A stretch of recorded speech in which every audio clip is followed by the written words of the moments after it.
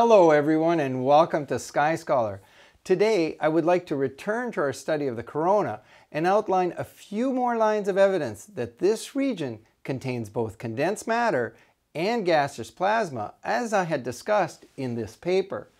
The corona is clearly not solely composed of sparse gaseous plasma with a density of less than 10 to the minus 15 grams per centimeter cubed as was proposed in the standard model.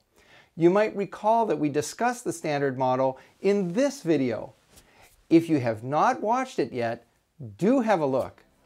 Perhaps one of the simplest lines of evidence that this region contains condensed matter is that we can directly observe material being ejected into the corona from the surface of the sun as we can see in this series of videos. Just take a moment to look at these it is not reasonable to argue that all we are seeing are optical illusions in a gaseous sun. We are seeing real structure, and that implies density and condensed matter.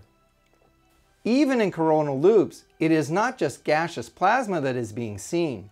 You are actually seeing condensed matter here. Coronal loops are likely to be made of type 1 metallic hydrogen, just like the photosphere. This is because the loops are not only a manifestation of magnetic field lines, but also of gravitational forces.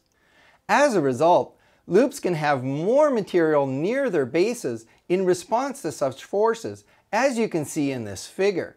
Astronomers have explained it this way. The hydrostatic scale height has always the same vertical extent, regardless of how much the loop is inclined, similar to the water level in communicating water tubes with different slopes. This behavior is not possible if the loops were simply made of sparse gaseous plasma. Loops are turbulent regions of the Sun. They are not quiet regions which might allow for sparse gas to respond in this manner. Rather, the loops are containing condensed matter which is behaving as a gravitationally affected liquid. You are witnessing the buildup of metallic hydrogen in these structures and this metallic hydrogen is responding to magnetic fields. Third, it is well known that the corona continuously sustains condensation, which leads to the formation of coronal rain. Such rain is ubiquitous in the corona and has been described by astronomers as cool and dense matter composed of a myriad of small blobs, with sizes that are on average 300 kilometers in width and 700 kilometers in length. Here is a video from NASA displaying coronal loops and associated coronal rain. Note how the rain appears to follow the loops as it falls back onto the photosphere.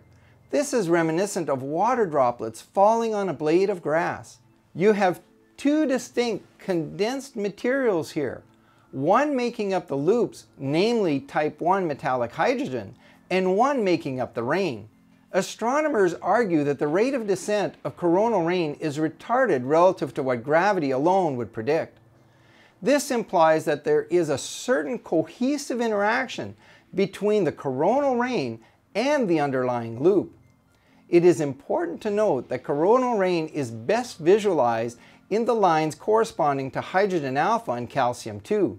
These are chromospheric lines of emission and a strong sign that coronal rain is actually chromospheric material. It is likely to be dense hydrogen which is non-metallic in nature. Coronal rain thus appears to be harvesting hydrogen atoms from the corona and bringing them back down onto the solar surface. This is the same process that occurs in the chromosphere as I had discussed in this paper and will cover in our next video. A fourth important fact of the corona is that scientists conduct atmospheric seismology in this region. Obviously, if you want to do seismology, you need condensed matter. To claim that such studies can be performed at the vacuum-like densities proposed in the standard model is not reasonable. As a point of support, just look at this small clip of a comet approaching the Sun and causing a coronal mass ejection even though it did not yet reach the solar surface. Clearly there is condensed matter in the corona, and if you disrupt it, that shock can quickly be transferred onto the surface. Fifth, it is well known that the corona possesses coronal holes. These are regions which display reduced emission in extreme ultraviolet and X-ray portions of the electromagnetic spectrum.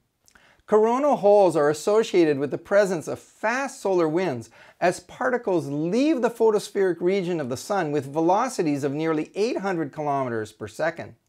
When the Sun is quiet, coronal holes tend to be located at the poles. When the Sun is active, they can span large sections of the solar disk. Coronal holes are known to be anchored onto the Sun, and this provides strong evidence that the body of the Sun is comprised of condensed matter and has underlying structure, producing the anchor points. The corona itself must also possess some condensed matter to anchor these points. Remember, you cannot anchor a coronal hole on the Sun based on magnetic field arguments, as the structure of the coronal hole is not directly related to the underlying magnetic field lines. In this regard, it is important to note that the corona possesses a radially rigid rotation of 27.5 days synodic period from 2.5 solar radii out to greater than 15 solar radii. Such findings support the idea that the solar body must be made of condensed matter, and that condensed matter must also be present in the corona such that we can map the rotation.